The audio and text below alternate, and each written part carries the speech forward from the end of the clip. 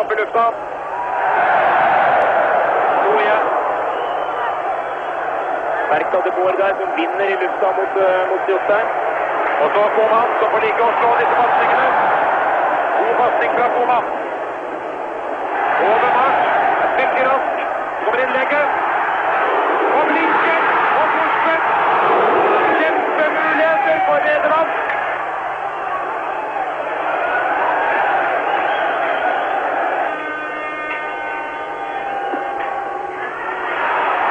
Og så en farlig mulighet, og der er Erik. Keeperspill Erik. Skal vi få et uh, langt innkast her fra Ronny Johnsen? Nei. Inn i feltet. Og der skal det gikk over. Ja, en bra norsk mulighet. Meget bra norsk mulighet eh, hvor eh, Øyvind Leonardsen klarer å komme seg løs og få til et bra skudd igjen etter en eh, god norsk stuss.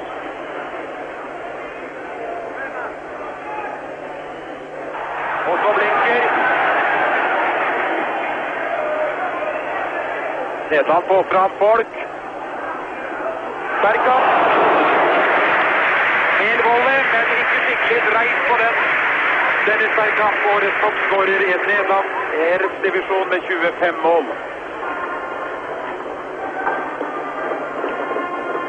Osman. Berkan. Siste Berkan. Og fortsetter av ballen. Og det er offside, er ikke det? Nå har vi tur. Så har vi kjempetur der nede. Sichuan skuddet spiss vinkel i stolpen. Og heading i stolpen. Det er nesten utrolig at vi slipper unna 0-1 her etter 29 minutter.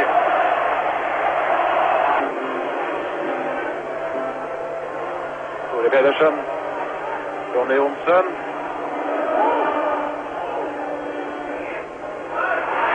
Ikke opp på blinken. Mister litt igjen der, Ronny Johnsen. Så kommer innlegg, og det er farlig. En ny, stor, stor mulighet for Nederland. Etter dette innlegget fra Steinar Vingen Blinker.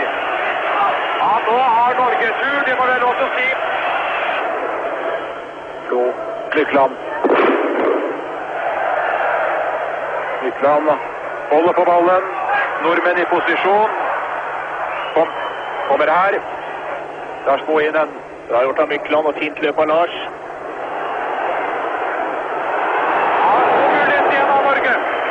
Godt norsk angrep som eh, Erik Mykland er regissør bak, hvor han spiller fri Lars Bohin på fint løp ned på kanten og også et veldig fint innlegg av Lars. 11 minutter igjen av første omgang. Og det er jeg må ha lov til å si, ganske utrolig så står det fortsatt 0-0. Utrolig etter disse store sjansene til Nederland. Erik Thorsvedt ut. Avskjærer den banen foran blinker. Fint ute, Erik Thorsvedt. Det bor. Jonk.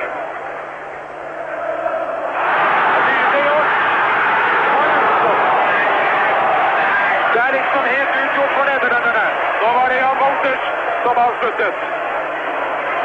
Har bare skåret fire mål på sine tidligere 59 landskamper.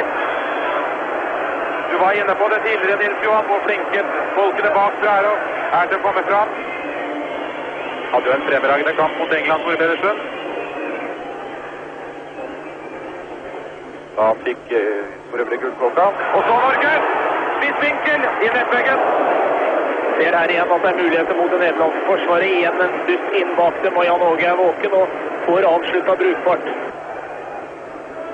Tore Pedersen. Det går ut og vokser igjen. Godt keeperspill. Nei, Vi har litt større problemer enn jeg setter pris på. Eh, Sidebekkene våre, særlig Stig Inge, har store problemer med overmarsj. Og vi har for stor avstand mellom midtbaneleddet og den bakre fireren, så vi, sliter. Men eh, vi er heldige. Det står 0-0, og det går an å rette på ting nå i pausa. Var du veldig nervøs underveis? Ja, det er jeg alltid, vet du. Og det er langt vann, men Koman skal vel skyte. Det gjør han. Utspill fra fem meter Erik Thorsvedt Bakke borti den ballen. Vet ikke om den treffer eh, eller om den er bakpå. Ser rep repisen her. Treffer Ja. tverrleggeren. Bohinen legger han til vektspill. Får han ballen tilbake? Ja. Bohinen går vel nå etter hjørnet. Gjør han ikke. Innlegget kommer. Meget godt jobbet, så det blir spark. Meget godt av Fjørtoft. Ja. Litt spissvinkel. Ronny Johnsen. Et godt løp. Igjen et flott diagonalløp av Lars Quinen, som han klarer å få vinne ballen. Flo. Ja, det er langt ball.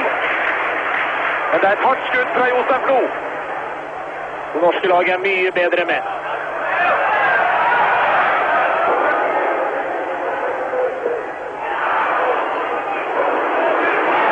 Og så! Det må vi prøve å unngå. Igjen er det Overmars som klarer å komme seg løs. Og så er Kjell og Erik er her. Veldig fint spill av Erik der, som står på straffesparkmerket og er ute og fungerer som keeper. Og Lars Bohinen har løpt mange, mange kilometer. Og det er ikke offside, og det er én mot én. Kjørt opp mot uh. Og kjørt. Skyter. En meget stor sjanse for Norge. 1-1. Norges største sjanse i kampen så langt, og det starter med Lars Bohinen sine jobb på, på egen banehalvdel og spiller fri Fjørtoft. Og Fjørtoft gjør også en veldig god prestasjon Én mot én-situasjon med Rijkaard der. Han fått litt mer skru på ballen, så kunne han lurt seg inn på innsida av stolpen til De Goy der. Rijkaard. Ute blinker. Sesan har fire foran mål. Innlegget kommer. Bratseth er der. Så skal vi ha avklaring. Roger Nilsen. Ja, forsvarsspill både av Roger Og.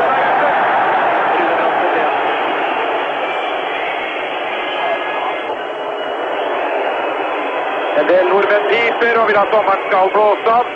Men det er helt riktig at han legger til tid. Denne setter skjermer fint ut.